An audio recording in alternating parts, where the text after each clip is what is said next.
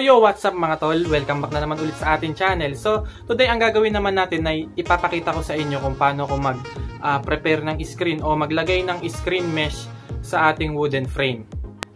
At saka mag-expose din tayo ng design gamit yung uh, Aquasol ER na photo emulsion at saka yung ating exposure box. At ang process na gagawin natin is yung tinatawag na bandika o yung band paper na nilalagyan ng mantika. So yun, bago tayo magsimula, uh, kung di ka pa nakapag-subscribe sa akin channel, mag-subscribe ka na din. Click the notification bell para mas lalong updated sa mga videos pa natin na i-upload soon. So yun, simulan na natin. So ito mga tol yung ating wooden frame. So lalagyan natin siya ng screen mesh. Ito yung screen mesh na ilalagay natin sa kanya. Uh,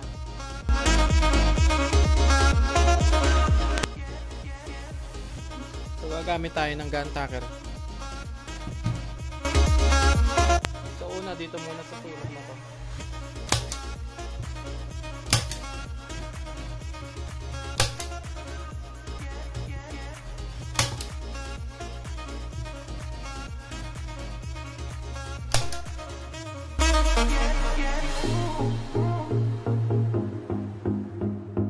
So habang ina habang ginagantakan natin dito sa mga sulok niya, hinihila na rin natin. So nakagantaker na dito, tsaka dito. Dito na lang.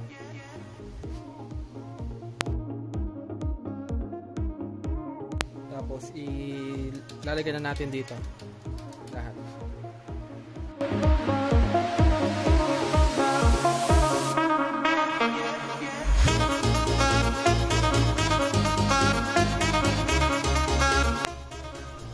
Nalagyan na natin dito. Sunod naman natin dito.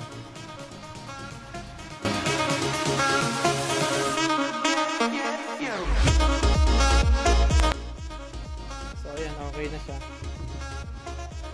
Meron na dito. So ito, meron na to. Dito rin. So itong side na to, yung side na to, at saka yung side na to, uh, ilalagay natin dun sa manual natin na screen stretcher.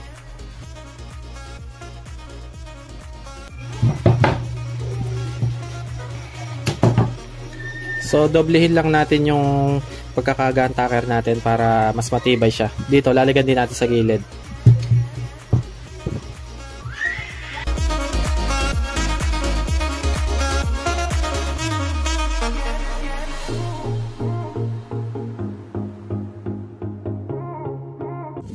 So yan, ilalagay na natin tong ating screen dito sa ating manual screen stretcher.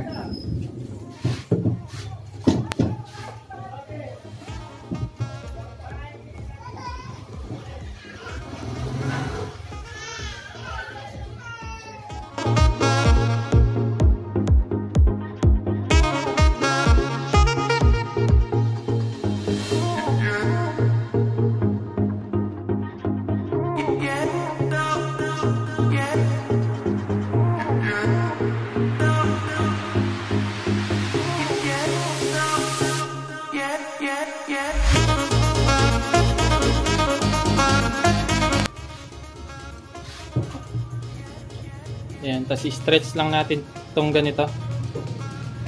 Tulak lang natin siya. Hanggang sa humigpit na siya.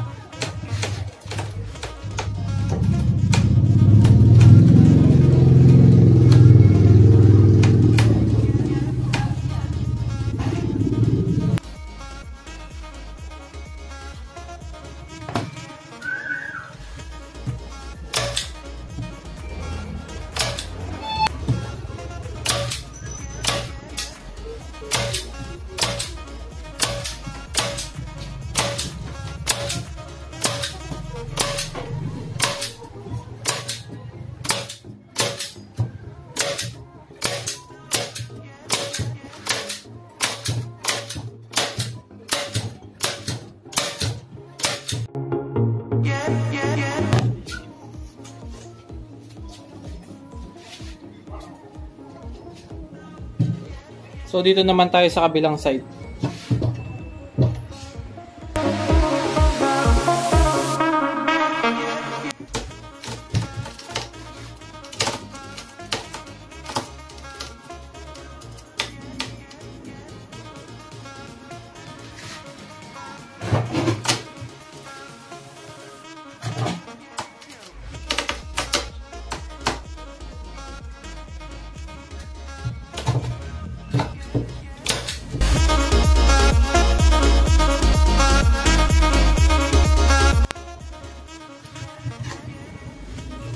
So ayan, natapos na natin siya. Nalagyan na natin.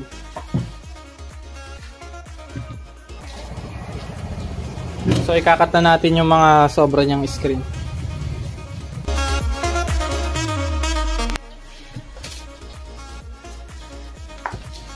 So ayan, tapos na. Nalagyan na natin siya ng screen mesh. So ang sunod natin gagawin, uh, lilinisin muna natin siya. Puhugasan natin. Para maalis yung mga ibang mga dumi-dumi niya. Para bago natin lagyan ng photo emulsion, malinis na siya para hindi siya nagbubula-bula. So ito yung panlilinis natin sa kanya yung uh, dishwashing liquid.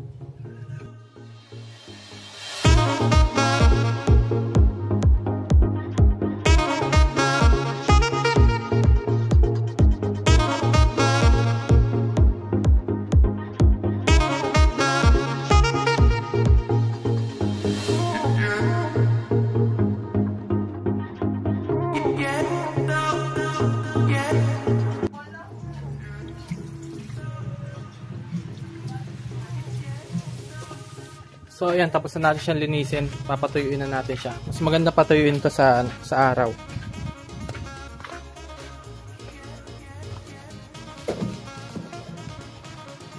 Patuyuin muna natin siya dyan. So tuyo na siya, malinis na siya. Ang susunod nating gagawin, lalagyan na natin siya ng photo emulsion.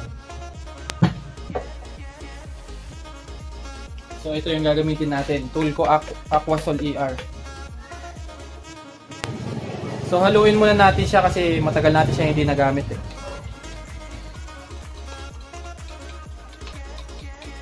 So kapag ka maglalagay kayo nito ng photo emulsion, huwag kayong maglalagay sa masyadong maliwanag kasi sensitive siya sa mga sa mga maliwanag, sa araw, tsaka sa ilaw.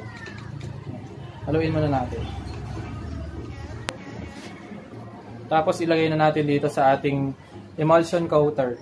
Medyo maliit tong coater natin eh. Hindi pa tayo nakakabili ng mas malaki. Pero ito muna gamitin natin. Pansamantala.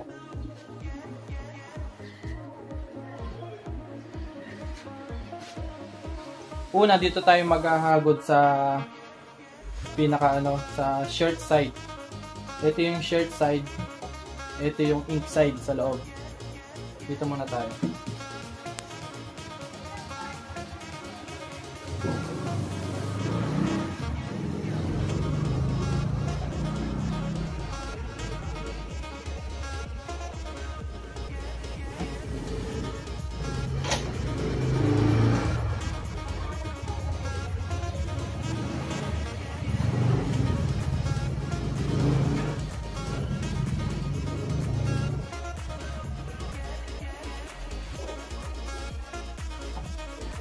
Dito naman sa kabila.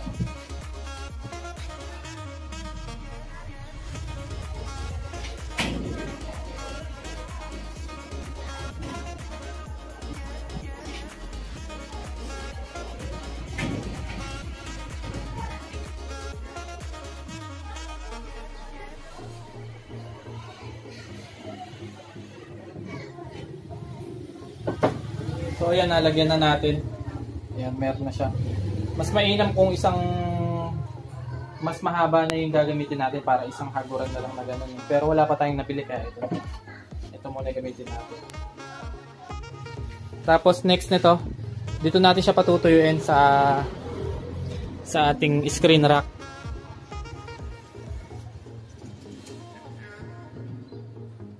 Diyan siya sa pinakaloob kasi bawal siyang malagyan ng ilaw. Yan muna natin siya patutuyuin.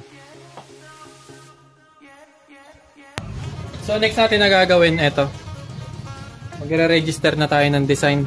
Tuyo na yung screen natin kanina na nilagyan ng photo emulsion. So ito yung design natin. Uh, di tayo nakapagpa-print ng A3 size. Kaya itong dugtong process na lang gagawin natin yan. Dalawang A4 yan.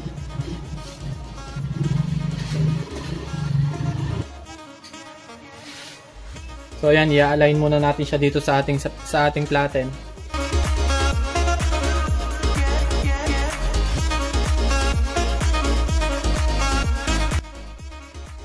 So ito na yung screen natin na may photo emulsion.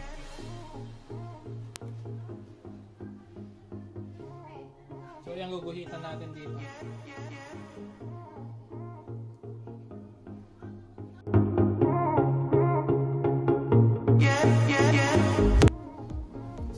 Okay na yan. Naka-align na yung ano natin, yung screen at saka yung design. So next natin gagawin, lalagyan na natin ng mantika itong ating papel na may design.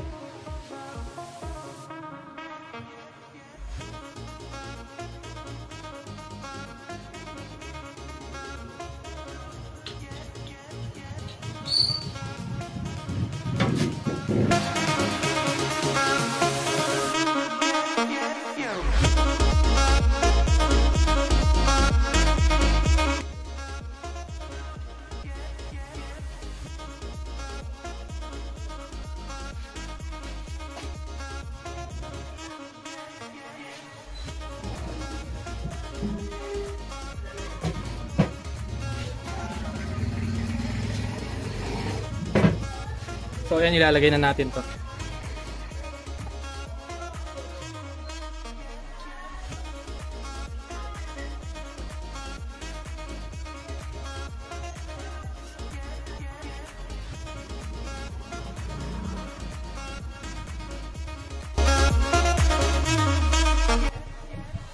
Ayan, so kailangan magtama itong mga ginuhit natin na to. Ayan. Saka ito.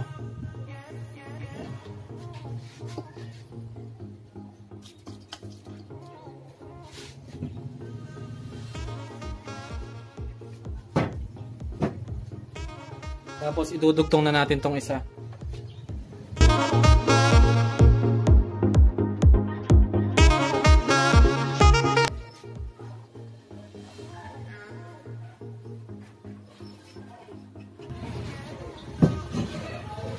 So ayan nakatapat na siya.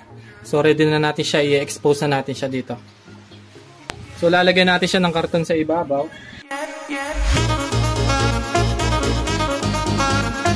So ayun, tapos i-expose natin siya ng 5 minutes and 40 seconds.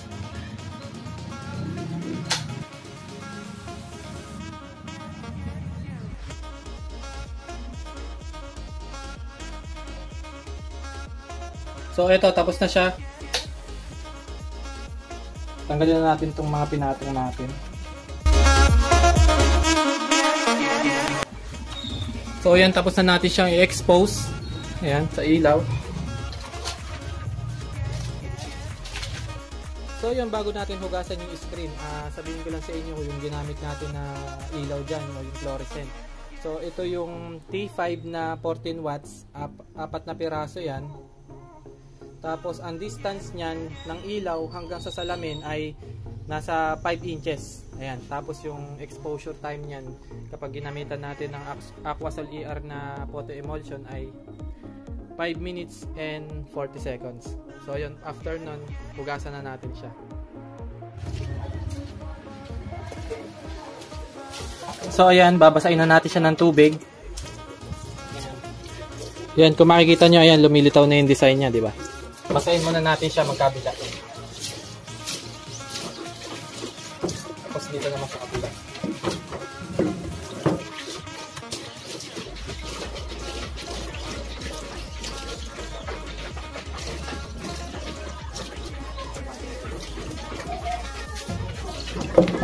Basahin lang natin siya hanggang sa lumambot.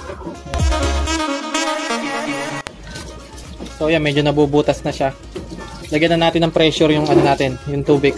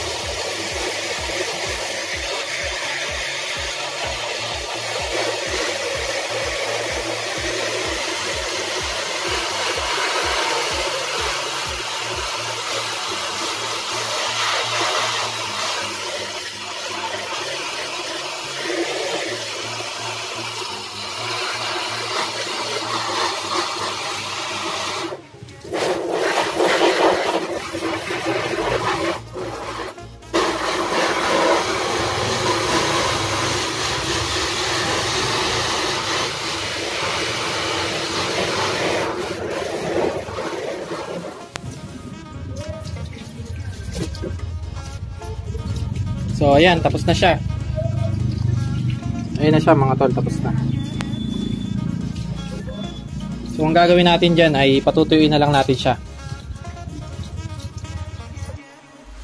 So, ayan, okay na, tapos na. Tuyo na rin. Uh, na-retouch na rin natin yung may mga butas-butas dyan. So, lalagyan na lang natin tape yung bawat side niya. Tapos, lalagyan na natin ng guide dito. At saka yung mga tornilyo na ilalagay natin. Tapos, pwede na maghagod nun. Ayan siya. So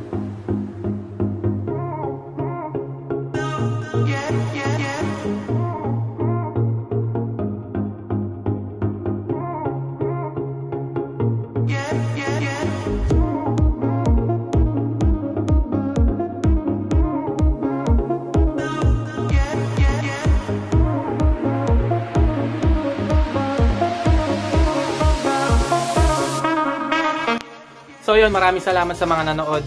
Uh, sana nakakuha din kayo ng idea doon. At kung hindi naman tayo pare-parehas sa mga gamit tulad nung sa akin, uh, Aqua VR ginagamit ko. At saka ganun yung klase ng exposure box ko. Kung iba yun sa inyo, pwede naman tayong pwede natin gawin yung tinatawag na step wedge. O yung magsasample ka ng kung ilang minutes, kung 5 minutes, 6 minutes, 7 minutes, 8 minutes. Tapos, makikita mo doon kung alin yung tamang exposure time para doon sa mga gamit mo. So yun, uh, don't forget to subscribe sa ating channel. Salamat.